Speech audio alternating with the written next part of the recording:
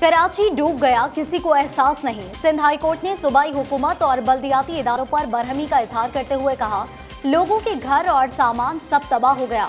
हर इदारा एक दूसरे पर ज़िम्मेदारी डालता है।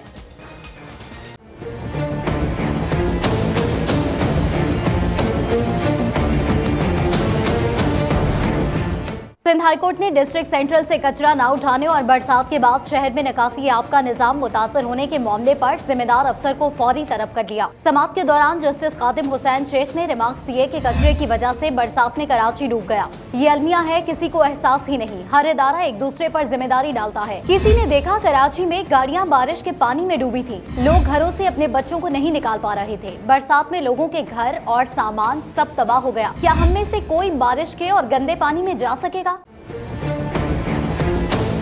अदालत ने सूबाई हुकूमत से इस्तफसार किया। ये तो बारिश ने शहर डबोया। अब अलाइशों को ईद कुर्बा पर ठिकाने लगाने के लिए क्या बंदोबस्त किया गया है? सरकारी वकील ने कहा, हुकूमत ने मुतल इदारों को फंड फराहम करने हैं। अलाइशों को ठिकाने लगाने का बंदोबस्त किया जाएगा। डिस्ट्रिक्ट सेंट्रल ऐसी से कचरा उठाने की के और सॉलिड वेस्ट मैनेजमेंट की ज़िम्मेदारी है। झूठ बोला जा रहा है की डिस्ट्रिक्ट सेंट्रल में सॉलिड वेस्ट मैनेजमेंट को कचरा उठाने की ज़िम्मेदारी नहीं दी गई जस्टिस खादिम हुसैन शेख ने रिमार्क दिए की हुकूमत को काम करने ऐसी पहले फंड की फ़िक्र होती है।